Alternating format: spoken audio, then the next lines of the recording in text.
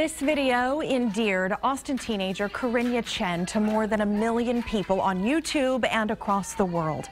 Too sick to use her ticket to the Florence and the Machine concert, lead singer Florence Welch came to Karinya's bedside at Hospice Austin's Christopher House, where Karinya was in her sixth year of fighting a rare type of bone cancer.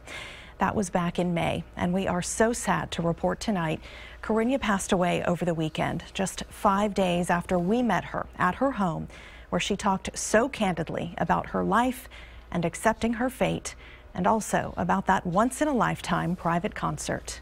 love,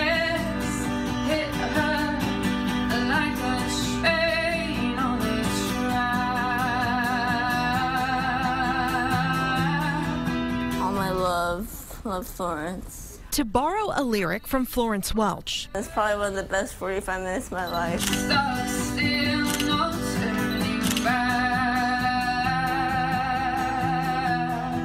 Happiness hit her like a train on a track. Probably. So, it was the best 45 minutes of my life. When we visited her last week, Karinya Chen was living as much as she was dying. Honestly, I think the biggest thing is to not worry and fear.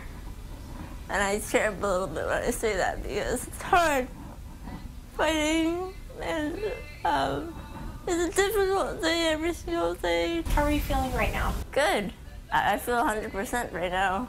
There's there's off days, of course, but today's an on day, so. That's the thing about Karinya. One, two, three. That is so cool.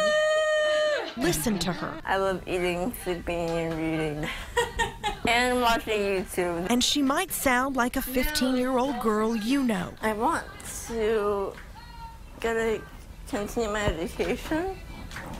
Um, I want to graduate. I want to go to college. With the same dreams. This is for myself. I'm just saying what I, I would like to happen in the future for me. But in the next breath, you see why she isn't like any other 15 year old you've ever met. We've decided to just, like God, give it to God and just let it hear me. But, yeah take it one day at a time and just tell yourself, don't worry and don't take things for granted. And tell yourself that um, you are loved and you are blessed.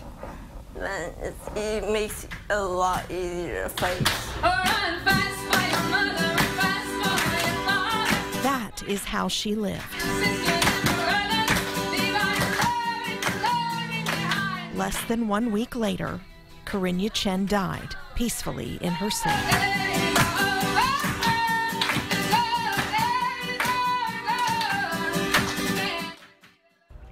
What a special little girl. Karinya was in the care of Hospice Austin for the last nine months of her life, and she wanted me to tell all of you how much she appreciated the nurses and the staff there.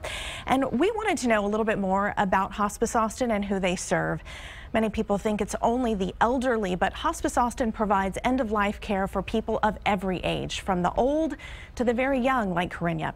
In fact, Hospice Austin provides specialized pediatric care, charity care for the poor and uninsured, and extensive bereavement programs. Hospice Austin also made that private concert possible for Karinya, and here's what one of her very special nurses had to say about her.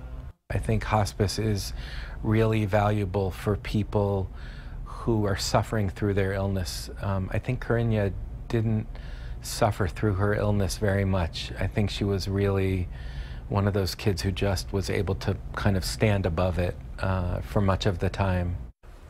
Hospice Austin is a nonprofit. They rely heavily on donations. If you'd like to learn more about what they do, look for this story right now on KXAN.com.